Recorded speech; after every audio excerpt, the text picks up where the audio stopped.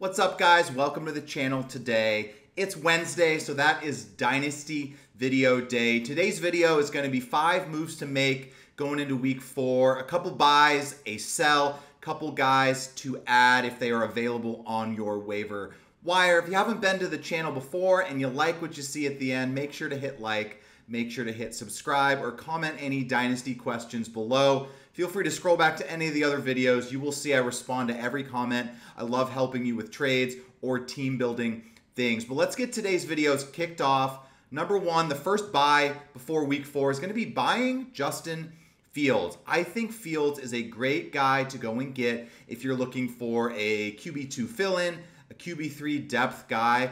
I really like what I've seen from Fields so far. I think it's just a much better situation for him in Pittsburgh as the film shows and as just their record shows with the Steelers being 3 and oh, the number one thing I like about Fields in Pittsburgh is now that the pressure is off of him being the quote unquote franchise of the Bears, he's running more than ever. Now, some of these high flashy running yard totals aren't there from his Chicago days, but I think those are going to ebb and flow and he's going to have some bigger weeks.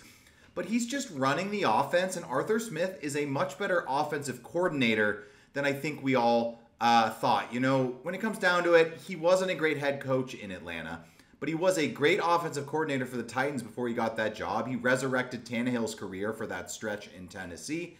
Looks like he's doing another solid job here for Pittsburgh. Uh, my trade idea here for Justin Fields is moving someone like Charbonnet, who's had a couple big weeks, might be a hotter name, and a third. Try to get Justin Fields onto your team. Now, quarterbacks in a super flex league are always tough deals to get. And I'm not going to speak as some overarching guaranteed trade offer for your Superflex league, but I would send some offers out for Justin Fields and see if you could get him onto your team. It's possible people have soured on him over the years, or maybe they got him for cheaper this summer and they're looking to just make a quick gain right now. Second guy, uh, it's going to be a sell, and that's going to be Travis Etienne. Just looking at this dude on film, his box score over the first three weeks, it just is kind of dire. The Jaguars don't look like some super competitive offense or elite offense in the NFL. He's losing snaps to Tank Bigsby, and he just isn't playing super well. I mean, I watched a bunch of his runs uh, against light boxes, even, and he wasn't even really able to find too much room there. Now, it's not all on him. Some of it's the offense, some of it's the offensive line.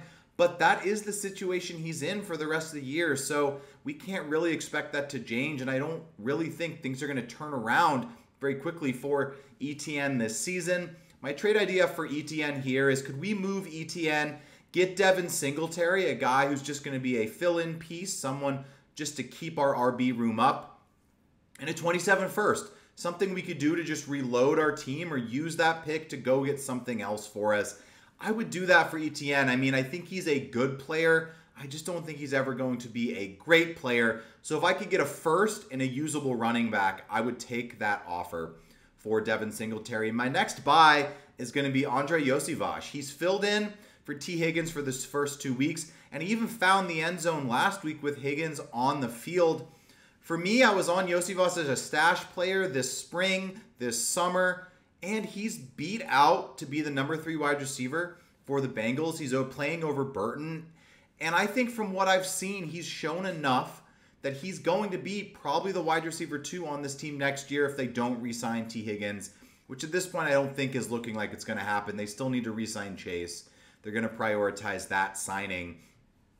And just go back and watch some Yossi Iosivas film. He, he's a big body guy. He plays the slot. He's being targeted in the red zone. These are all things we look at as pluses and positives for a dynasty wide receiver. Um, idea here to try to get Andrei Iosivas is just throw out two future thirds, a 25 and a 26 third. You know, I mean, he's had some good games. He hasn't put up these crazy numbers. He has scored. He hasn't put up crazy yardage totals yet or anything. So send an offer to the guy that has him. Maybe he'd love some draft capital. Maybe he, you know, he added him off the waiver wire this summer and he in his mind, this is two free third round picks for a guy he just added. But I, I think down the line, Iosivas is just probably going to be a starter for this team. I think he's going to be usable for a couple years, and I'm willing to make this small investment in him to see if he can turn out to be more. Now, the last two things I'm going to do for this video are going to be two players I'm looking to add uh, this week. I picked up a couple of them in uh, waiver wires this week on some of my dynasty teams, so they're out there. Uh, first one's going to be Tyler Badie. I spoke Monday about how I'm not a big believer in Javonte Williams in the Denver backfield. Part of that is Badie looked pretty good. Tyler Beatty, Tyler Batty. I, I, don't know the exact pronunciation here, but you know, seven for uh, I think it was nine for seventy. He had a big run in the Broncos game. He could involve himself here. You know, these waiver wire pickups in dynasty leagues, they're not the same as the waiver wire in your redraft league. You're looking for a glimmer of hope, and I think he showed us this weekend in that three-headed monster on what we don't really know or have to expect from the Broncos backfield, but he earned snaps. He produced with them. Let's see what happens going forward. He is a smaller, more quick kind of back. Sean Payton's used guys like that in the past. So I like adding him off the waiver wire to see if he turns into anything, even if it's just to move him later this season for a late pick. Last guy is going to be Erick All, tight end on the Bengals. Now, Gesicki's looked pretty good too. He's not on some long term deal though with the Bengals. Bengals drafted Erick All this offseason. He looks like a good blocker, so he's found himself on the field, and he has back to back games with four catches.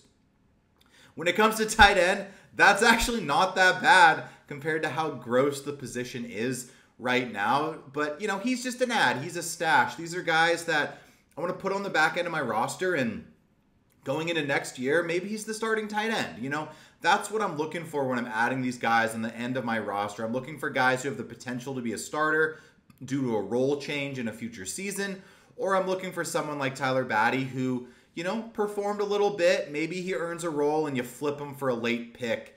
That's always something I'm looking to do. I'm willing to take third and fourth round picks for guys I'm adding off the waiver wire if I don't see them as long term assets in Dynasty. Stack those picks use those picks to go get the guys you really want in Dynasty Fantasy Football. But thank you guys for tuning into this moves to make video before week four. Uh, if you have some other videos you want to check out, I have some buy videos uh, from the past couple weeks. I still believe in those players, so definitely watch those and see if any of those guys are acquirable in your Dynasty League. If you liked what you saw today, hit like, hit subscribe, shoot me a comment, let me know you enjoyed it. Thanks for tuning in, guys. Catch us on Friday for some flex picks for your redraft league, and uh, We'll catch you later.